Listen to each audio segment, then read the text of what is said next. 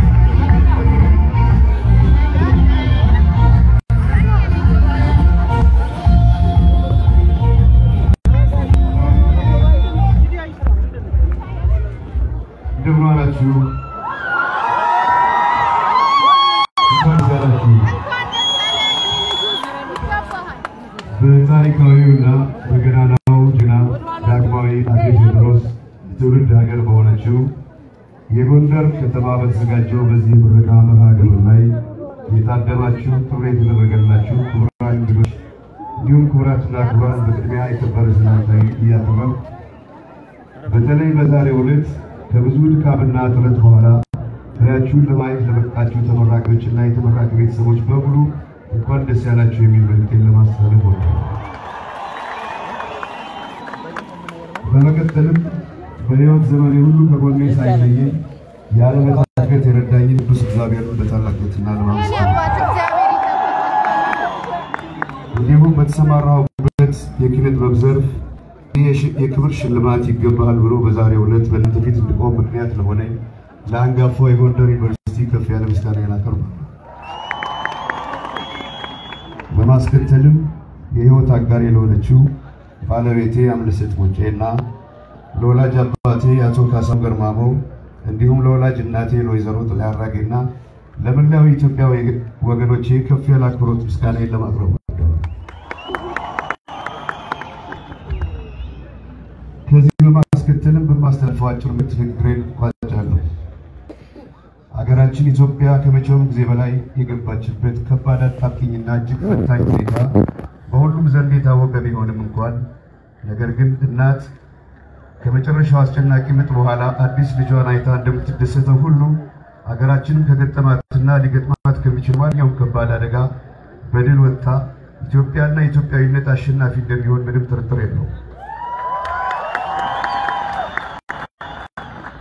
ላለፉት ቀላል ለማይባሉ ዓመታት ሀገራችንን አስጨንቆ የያዛትና አሁንም ላለችበት ቀውስ የዳረጋት የጎሳ ፖለቲካ ሀሳብ እንደ ማንኛውም ፍልስፍናና ሀሳብ ተወልዶ አድጎ አሪስቶና በስብሶ ተፈጥሯዊ ሞቱን ሞቷል። ስለዚህም ከዚህ በኋላ መላው የሀገራችን ሕዝብ በተለይም በተለይም ወጣቶች በጎሳና በዘር እንዲሁም በሃይማኖት ልዩነት ሳት- ሳትናወጡ ከመቼውም ጊዜ በላይ በአንድነትና በፍጹም ኢትዮጵያዊ ብሔረሰብ ቤት በተጠንቀቅ ጸንታችሁ መቆም ያለባችሁ ወይም ያለብን መሆኑን በአጽንኦት ለማሳሰብ እወዳለሁ።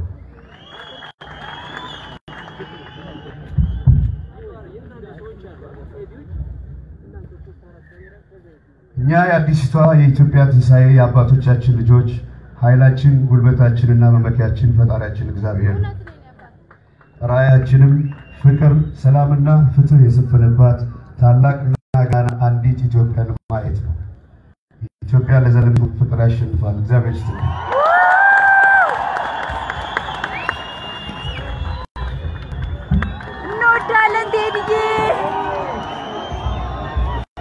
አንድ ላይ እስኪ ቴዲ ቴዲ ቴዲ ቴዲ ቴዲ።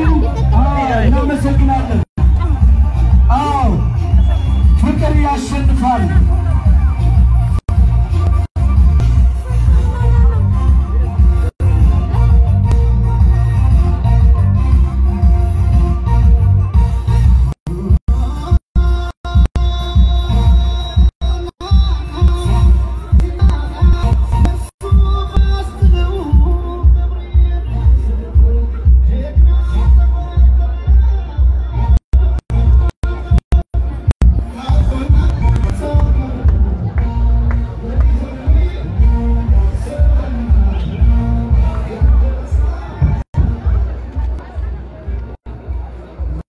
እናመሰግናለን።